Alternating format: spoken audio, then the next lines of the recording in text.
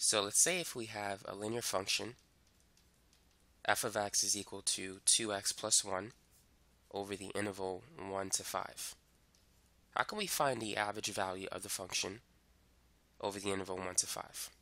Well, let's draw a graph. So we have a y-intercept of 1 and a slope of 2.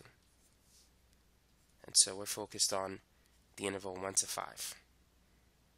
Now, according to the mean value theorem, the area under the curve, which is basically the area that's shaded, that's equal to the area of the rectangle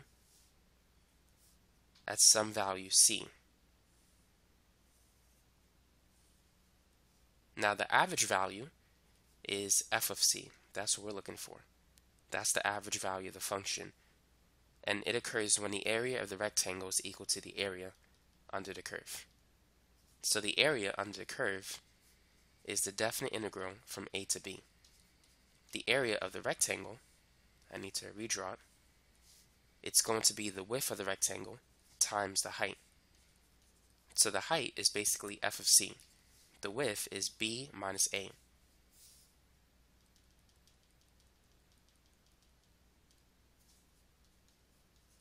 So it's the height times the width. Now, to get the average value, we need to isolate f of c. So we need to divide both sides by b minus a. So the average value is 1 over b minus a of the integral a to b f of x dx.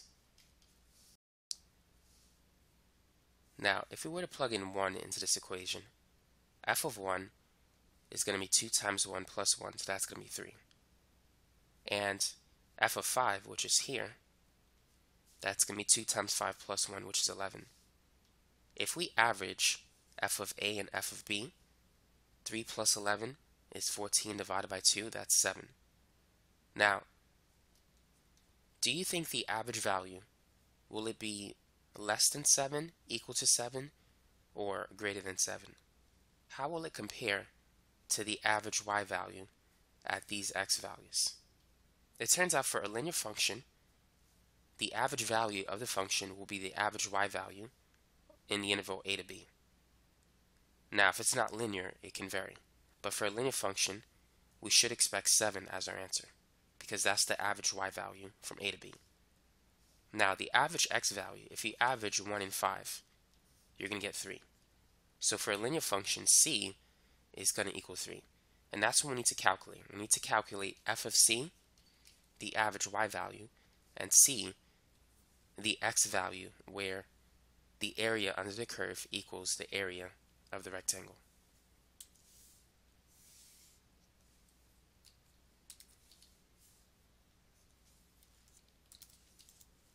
So let's see if c is equal to 3 and f of c is equal to 7.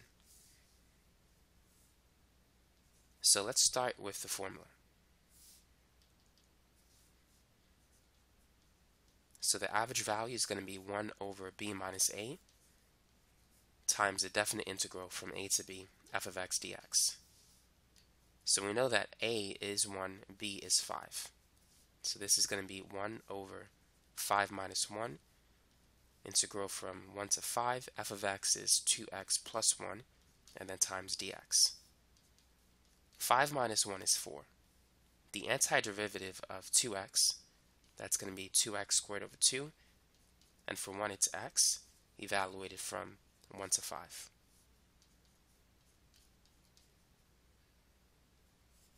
Now we could cancel a 2.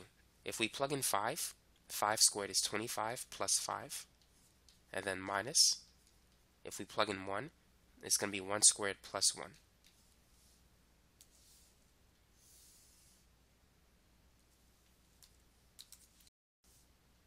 Twenty-five plus five is thirty, and 1 plus 1 is 2. If we factor out 1 fourth, it's going to be 30 minus 2, which is 28 and 1 fourth of 28 is 7. So notice that the average value is indeed equal to the average y value in the interval. So the average value of the function is 7. Now let's set the average value of the function equal to f of c. So the average y value is 7. f of c is going to be 2c plus 1. Subtracting 1 from both sides, 7 minus 1 is 6. And if we divide by 2, c is 3. So for a linear function, c is the average of a and b. And the average value of the function for a linear function is the average of f of a and f of b. And I'm running out of space.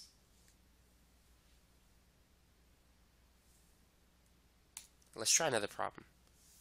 So what if we don't have a linear function? Let's say if we have x squared from 0 to 4. Let's see how the average value of the function will compare to f of a and f of b, the average of those two numbers. So let's calculate f of a plus f of b divided by 2. So that's going to be f of 0 plus f of 4 over 2. So when x is 0, y is 0. When x is 4, 4 squared is 16. 16 divided by 2 is 8.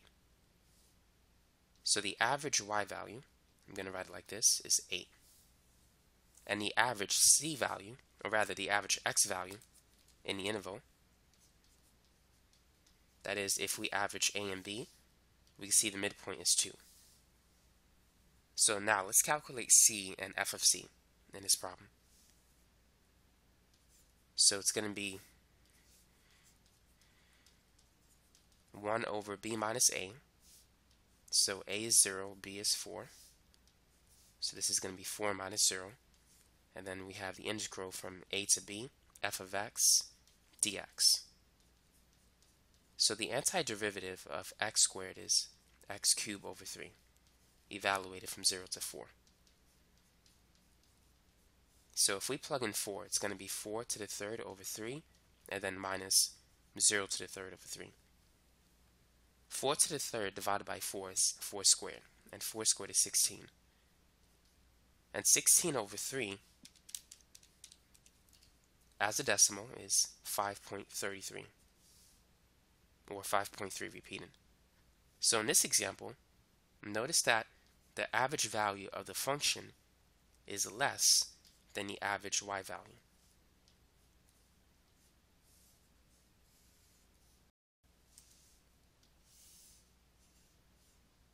Now let's calculate the c value that corresponds to that average value. So the average value, let's set it equal to f of c. So f of c is x squared, and the average value we said was 16 over 3. So let's take the square root of both sides. So this is going to be 4 over the square root of 3, and that's equal to x. Now granted, we get two answers, plus or minus, but the negative answer is not going to be in this interval. So we'll stick with the positive answer. Now you can rationalize it if you want. So if you multiply the top and the bottom by the square root of 3, this is going to be 4 square root 3 over 3. And so the decimal value for that is 2.309. So in this case, this is the c value as well. I should have wrote this as c squared instead of x squared. f of c is equal to c squared.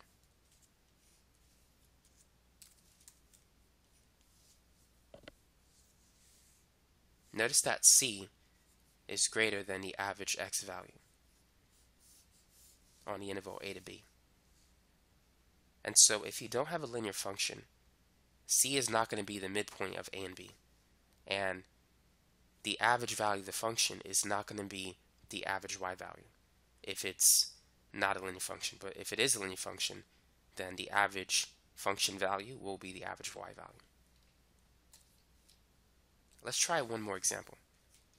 So let's say f of x is equal to the square root of x on the interval 4 to 16. go ahead and find the average value of the function and find a value of c that corresponds to it. So let's start with the equation. The average value is going to be 1 over b minus a times the area under the curve. So b is 16, a is 4. And f of x is the square root of x, which is x raised to the 1 half. 16 minus 4 is 12. And the antiderivative of x to the 1 half, 1 half plus 1 is 3 over 2, and then we need to multiply by 2 over 3, and then evaluate it from 4 to 16.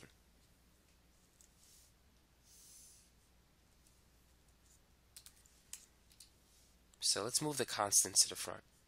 2 over 12 can be reduced to 1 over 6. And 1 over 6 times 1 third, that's going to be 1 over 18. So we have 1 over 18, and then x to the 3 halves, evaluated from 4 to 16. So this is going to be 16 to the 3 halves minus 4 to the 3 halves.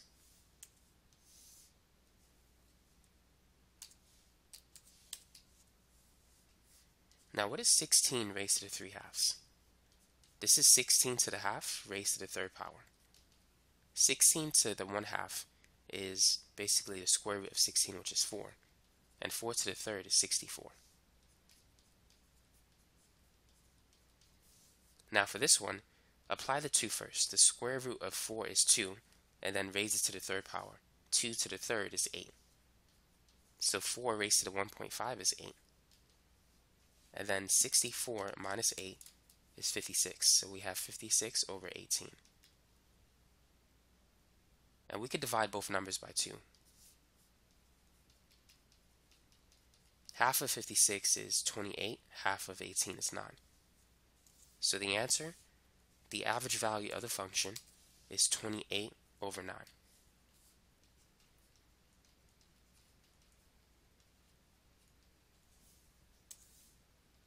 Now let's calculate the C value that gives us that average value.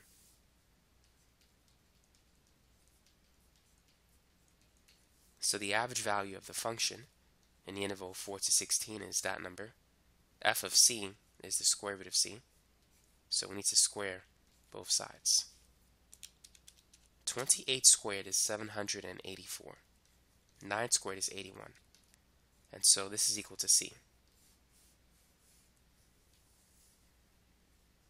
Now, the midpoint of 4 and 16, 4 plus 16 is 20, 20 over 2 is 10. So the average x value is 10. And c as a decimal, 784 divided by 81, that's 9.679. So these numbers are close. But in this example, c is less than the average x value. Now let's calculate the average y value and compare it to the average value of the function. So f of a, that's f of 4, plus f of b divided by 2. f of 4, the square root of 4 is 2, the square root of 16 is 4. 2 plus 4 is 6, 6 divided by 2 is 3. Now 28 over 9. 27 over 9 is 3. 28 over 9 that's about 3.1 repeating. So in this case, the average value of the function is greater than the average y value in this problem. Now let's analyze the three examples that we have. So let's draw three graphs.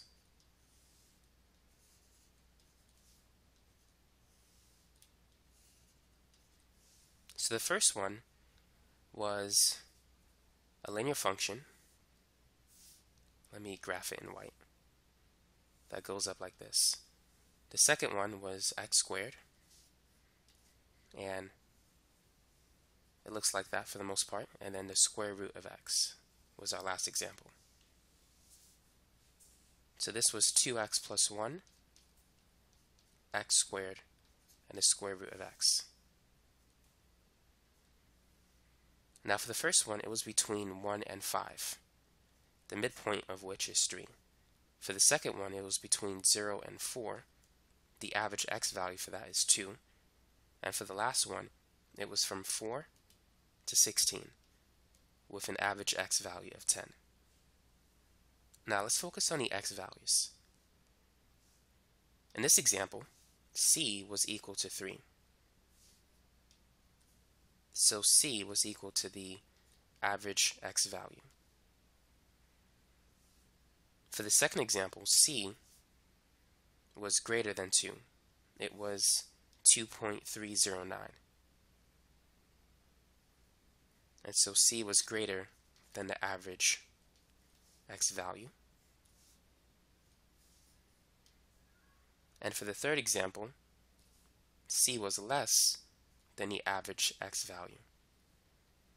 It was 9.679.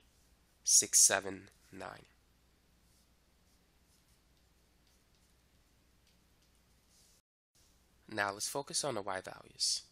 When x is 1, y is 3, and when x is 5, y is 11. And the average of those two is 7. Now the average function value was 7 as well. So we could say the average value of the function is equal to the average y value for that example.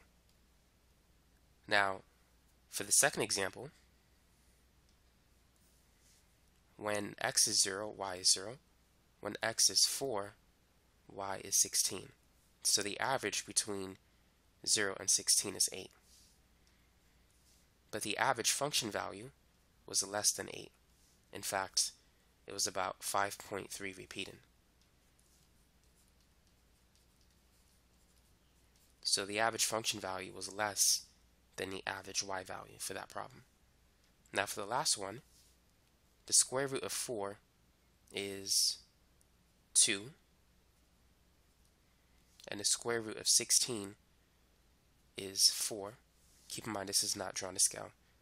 So the average of these two numbers is 3.